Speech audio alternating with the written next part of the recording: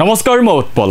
যিমানে দুহেজাৰ চৌবিছৰ লোকসভা নিৰ্বাচন চমু চাপিছে সিমানে ইটোৰ পাছত সিটো বিপদ বাঢ়িছে নৰেন্দ্ৰ মোদী চৰকাৰৰ। আৰু ইয়াৰ সৰ্বাধিক বিপদ আহিছে দেশৰ উচ্চতম ন্যায়ালয়ৰ পৰা। মুখ্য ন্যায়াধীশ ডি ৱাই চন্দ্ৰচূড়ে আৰু তেওঁৰ সহযোগীসকলে প্ৰদান কৰা ইটোৰ পাছত সিটো সিদ্ধান্তই বিপদ বঢ়াইছে প্ৰধানমন্ত্ৰী নৰেন্দ্ৰ মোদী চৰকাৰৰ। এইগৰাকী সেইগৰাকী সঞ্জয় কুমাৰ মিশ্ৰ যি হয়তো ভাৰতৰ সৰ্বাধিক বিতৰ্কিত বিষয়া। ই ডি অৰ্থাৎ এনফৰ্চমেণ্ট ডিৰেক্টৰেটে আজিলৈকে ৰুজু কৰা গোচৰৰ সংখ্যা হ'ল পাঁচ হাজাৰ নশ ছটা। আৰু ইয়াৰে তিনি হাজাৰ পাঁচশটাই গোচৰ ৰুজু হৈছে ই ডিৰ সঞ্চালক এইগৰাকী সঞ্জয় কুমাৰ মিশ্ৰৰ কাৰ্যকালত। ইয়াৰে ন্যায়ালয়ত শুনানিৰ বাবে যোৱা এহেজাৰ এশ বিৰাল্লিছটা গোচৰৰ ভিতৰত সম্পূৰ্ণ হৈছে পঁচিছটা গোচৰৰ শুনানি য'ত অভিযুক্ত হৈছে পঞ্চল্লিছগৰাকীকৈ লোক। ই ডিয়ে ৰুজু কৰা অবৈধ ধন সৰবৰাহৰ গোচৰৰ ভিতৰত সত্তৰ শতাংশই গোচৰ ৰুজু হৈছে এগৰাকী সঞ্জয় কুমাৰ মিশ্ৰৰ কাৰ্যকালত। আৰু তাৰে পাঁচ হাজাৰ নশ ছটা গোচৰৰ ভিতৰত সঞ্জয় কুমাৰ মিশ্ৰৰ কাৰ্যকালত ৰুজু হোৱা তিনি হাজাৰ পাঁচশটাই গোচৰ অবৈধ ধন সৰবৰাহৰ গোচৰ। ঊনৈছশ চৌৰাশী বেটছৰ Indian revenue service officer Sanjay Kumar Mishra. যিয়ে অহা একত্ৰিছ জুলাইত সম্পূৰ্ণ কৰিব ছাপন্নমহীয়া কাৰ্যকাল। যি হৈছে ই ডিৰ সঞ্চালক হিচাপে সৰ্বাধিক দীঘলীয়া কাৰ্যকাল। কিন্তু যি সময়ত এগৰাকী সঞ্জয় কুমাৰ মিশ্ৰই ই ডিৰ ইতিহাসৰ সৰ্বাধিক দীঘলীয়া কাৰ্যকাল সম্পূৰ্ণ কৰিছে ই ডিৰ ইতিহাসৰ সৰ্বাধিক গোচৰ ৰুজু কৰিছে সৰ্বাধিক লোকক গ্ৰেপ্তাৰ কৰিছে কিন্তু সেইগৰাকী সঞ্জয় কুমাৰ মিশ্ৰৰ দিনতেই কেনেকৈ সৰ্বাধিক দুৰ্নীতিপৰায়ণ চৰকাৰ হৈ উঠিল নৰেন্দ্ৰ মোদী চৰকাৰ? এইগৰাকী সঞ্জয় কুমাৰ মিশ্ৰই কেইটা গোচৰ ৰুজু কৰিলে নৰেন্দ্ৰ মোদী চৰকাৰৰ বিৰুদ্ধে? নৰেন্দ্ৰ মোদী চৰকাৰ বা বিজেপি দলৰ কেইগৰাকী নেতা মন্ত্ৰীৰ বিৰুদ্ধে ৰুজু কৰিলে গোচৰ বা কেইগৰাকীক কৰিলে গ্ৰেপ্তাৰ। এইগৰাকী সঞ্জয় কুমাৰ মিশ্ৰৰ বিৰুদ্ধে আছে ই ডিত চৰকাৰৰ এজেণ্ট হিচাপে কাৰ্যনিৰ্বাহ কৰাৰ অভিযোগ। বিগত সময়ছোৱাত ধাৰাবাহিকভাৱে মোদী চৰকাৰৰ দ্বাৰা বিৰোধী নেতাক বস আৰু ইখনৰ পাছত সিখন বিৰোধী চৰকাৰৰ পতন ঘটোৱাত ই ডিক ব্যৱহাৰ কৰাৰ অভিযোগ। এইগৰাকী সঞ্জয় মিশ্ৰৰ কাৰ্যকাল ধাৰাবাহিকভাৱে বৃদ্ধি কৰি গৈছিল নৰেন্দ্ৰ মোদী চৰকাৰে। আনকি এগৰাকী সঞ্জয় মিশ্ৰৰ স্বাৰ্থত জাৰি কৰিছিল অধ্যাদেশ।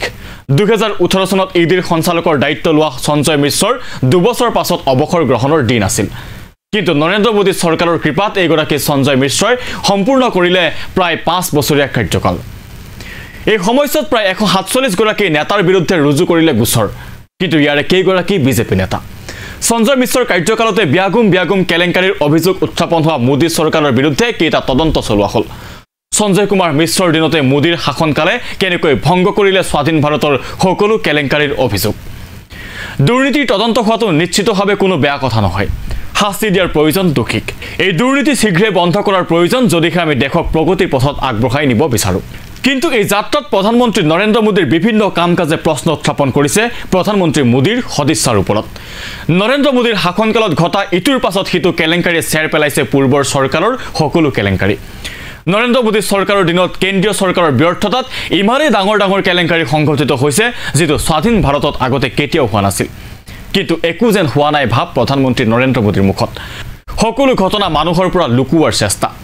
লাখ লাখ কোটি টকাৰ কেলেংকাৰীক লৈ নিমাত প্ৰধানমন্ত্ৰী নৰেন্দ্ৰ মোদী। নিমাত এইগৰাকী ই ডিৰ সঞ্চালক সঞ্জয় কুমাৰ মিশ্ৰ। নৰেন্দ্ৰ মোদী চৰকাৰে এই কেলেংকাৰীসমূহ গাপ দিবলৈ বাছি লোৱাৰ প্ৰথমটো উপায় হ'ল তথ্য গাপ দি ৰখা। সংসদত বহু প্ৰশ্নৰ উত্তৰ আৰ টি আই বহু উত্তৰত কেন্দ্ৰীয় চৰকাৰৰ বক্তব্য হয় যে তেওঁলোকৰ হাতত এই বিষয়ত কোনো তথ্য নাই। কিন্তু কিয় নাথাকে? এখন চৰকাৰৰ হাতত নিৰ্দিষ্ট তথ্য নাথাকিব পাৰেনে? তথ্য নথকা কথাটোৱে কি সূচায়? তথ্য নথকা কথাটোৱে ইয়াকে নুবুজায়নে যে চৰকাৰে প্ৰকৃত সত্য ক'বলৈ ভয় কৰে? ৰাইজৰ পৰা যেতিয়া তথ্য লুকুৱাই ৰখা হয় তেতিয়া গণতন্ত্ৰ হৈ পৰে সোণৰ পাত্ৰ। কংগ্ৰেছ যুগৰ টু জি টেলিকম কেলেংকাৰী আছিল দুই দশমিক পাঁচ লাখ কোটি টকাৰ কেলেংকাৰী। কিন্তু প্ৰধানমন্ত্ৰী নৰেন্দ্ৰ মোদীৰ কাৰ্যকালত মনে মনে সংঘটিত হোৱা সকলো কেলেংকাৰী যোগ কৰিলে চাগে এই পৰিমাণ হ'ব ট্ৰিলিয়নৰো অধিক। প্ৰধানমন্ত্ৰী মোদীৰ যুগত কেৱল বেংকৰ জালিয়াতিৰ পৰিমাণ প্ৰায় পাঁচ দশমিক পাঁচ লাখ কোটি টকা। এই বেংক জালিয়াতিৰ বাবে দেশত ভাঙি পৰিল বেংকিং ব্যৱস্থা। লাখ লাখ কোটি টকা লুণ্ঠন কৰি কেইবাজনো উদ্যোগপতি দেশৰ পৰা পলায়ন কৰাৰ পাছত কোনো ব্যৱস্থা গ্ৰহণ নকৰিলে স্বঘোষিত চকীদাৰজনে। যেতিয়া নীৰৱ মোদী মেহুল চোক্সি বিজয় মালিয়াৰ দৰে লোকে চুলতান মাহমুদৰ দৰে সকলো লুটপাত কৰি পলাই গৈছিল তেতিয়া নৰেন্দ্ৰ মোদী চৰকাৰে অন্ধ ধৃতৰাষ্ট্ৰৰ দৰে চকুত বান্ধি আছিল কলা কাপোৰ। দুহেজাৰ একৈছ চনত ভাৰতীয় ৰিজাৰ্ভ বেংকে বেংক জালিয়াতি সন্দৰ্ভত প্ৰকাশ কৰা প্ৰতিবেদনত কোৱা হৈছে যে মোদীৰ যুগত বেংক জালিয়াতিয়ে পূৰ্বৰ সকলো অভিলেখ ভংগ কৰিছে। কেৱল এয়াই নহয়।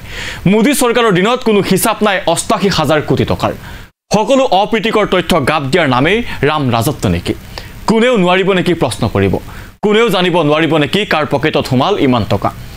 চৰকাৰী ছপাশালত নতুন পাঁচশ টকীয়া নোট ছপা হৈছিল যদিও সকলো নোট যোৱা নাছিল ৰিজাৰ্ভ বেংকলৈ। তেন্তে বাকী টকাবোৰ কলৈ গ'ল? মনোৰঞ্জন ৰায় নামৰ এজন ব্যক্তিয়ে আৰ টি আই দাখিল নকৰা হ'লে হয়তো গোটেই বিষয়টো গাপ দি ৰখা হ'লহেঁতেন। অৰ্থাৎ চৰকাৰী ছপাশালে যিমান নোট ছপা কৰি ৰিজাৰ্ভ বেংকলৈ প্ৰেৰণ কৰা বুলি হিচাপ দাখিল কৰিছিল আৰু ৰিজাৰ্ভ বেংকে যিমান পৰিমাণৰ নোট গ্ৰহণ কৰা বুলি হিচাপ দিছে তাত বিপুল পাৰ্থক্য দেখা পোৱাৰ অভিযোগ উত্থাপন হৈছে।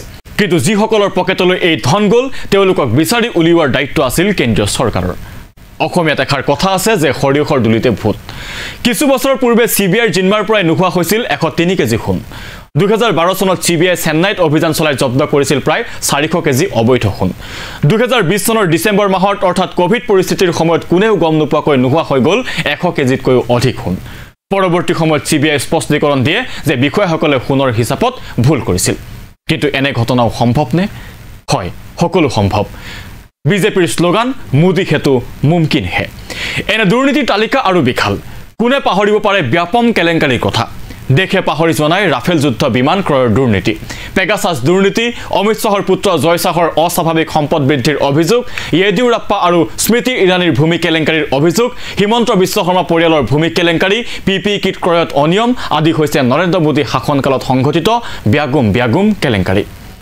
আদানীৰ ব্যাপক উত্থানৰ আঁৰতো প্ৰধানমন্ত্ৰী মোদীৰ কিবা আশীৰ্বাদ আছে নেকি তাক লৈও প্ৰশ্ন উত্থাপন হৈছে। কিন্তু কোনো উত্তৰ নাই প্ৰধানমন্ত্ৰী নৰেন্দ্ৰ মোদীৰ। সত্তৰ হাজাৰ কোটি টকাৰ কেলেংকাৰীৰ অভিযোগ উত্থাপন কৰা শাৰদ পাৱাৰৰ দল ভংগ কৰি এজন নেতাক ৰাতিটোৰ ভিতৰতে অধিষ্ঠিত কৰা হ'ল মহাৰাষ্ট্ৰ বিজেপি চৰকাৰৰ উপ মুখ্যমন্ত্ৰী পদত। বিভিন্ন ৰাজ্যত বাৰে বাৰে বিজেপিয়ে কেলেংকাৰীৰ অভিযুক্তৰ হাতত ধৰি ক্ষমতা বৃদ্ধিৰ চেষ্টা চলাই আহিছে। কেতিয়াবা কলংকৰ নায়কসকলক দিয়া হৈছে সংগঠনৰ মুৰব্বীৰ দায়িত্ব। কেতিয়াবা কৰা হৈছে বিৰোধী নেতা আৰু কেতিয়াবা পতা হৈছে মুখ্যমন্ত্ৰী উপ মুখ্যমন্ত্ৰী কিন্তু কোনো সাৰ সুৰ নাই এইগৰাকী সঞ্জয় কুমাৰ মিশ্ৰৰ। আৰু অৱশেষত উচ্চতম ন্যায়ালয়ৰ নিৰ্দেশত অহা একত্ৰিছ জুলাইত ই ডি সঞ্চালক পদৰ পৰা অৱসৰ ল'ব লাগিব এইগৰাকী বিতৰ্কিত বিষয়া মোদী চৰকাৰৰ আশিক ধন্য বিষয়া সঞ্জয় কুমাৰ মিশ্ৰই। সৰি পৰিল মোদী চৰকাৰৰ আন এপাত অস্ত্ৰ।